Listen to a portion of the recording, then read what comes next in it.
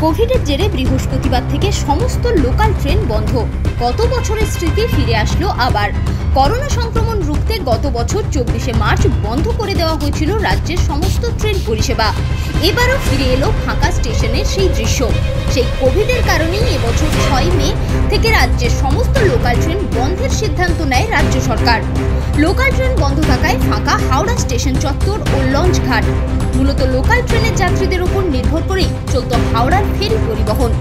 Local train বন্ধ হওয়ায় সেখানে হাতে গোনা কয়েকজন মানুষ যাতায়াত করছেন।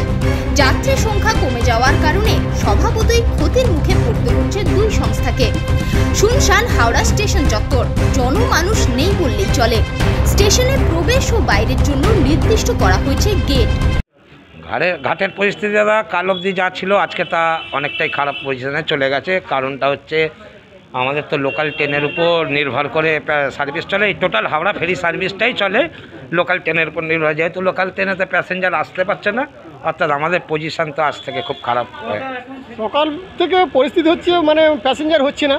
প্রথম কথা লোকাল ট্রেন বন্ধ তার কারণে আর কি প্যাসেঞ্জারটা হচ্ছে না। কারণ হচ্ছে এই যে করোনার কারণে ট্রেনগুলো বন্ধ হয়ে গিয়েছে। পাশাপাশি নদিয়ার কল্যাণী চিত্রটাও একই রকমই। ট্রেন বন্ধ থাকায় বিপাকে পড়েছেন যাত্রীরা। ফাঁকা পুরো স্টেশন চত্বর। রানাঘাট থেকে আমরা এসেছি মাল নিতে। আমাদের গতকালকে আর কি ভুট্টা কেনা ছিল। তো আমরা তো জানি না হট করে ট্রেনে অ্যানাউন্সটা হয়েছে যে বন্ধ থাকবে। তো এবার আমাদের এখানে দুই তিন বস্তা মাল কেনা আছে মালটা না নিলে আমরা করে খেতে পারার জন্যই সে তো অবশ্যই হয়রানি হচ্ছি কিন্তু আগে ডিক্লেয়ার করলে একটু সুবিধা হতো। হাওড়া থেকে বিশ্বজিৎ রায় ও নদিয়া থেকে পিন্টু অধিকারীর রিপোর্ট টাইমস বাংলা।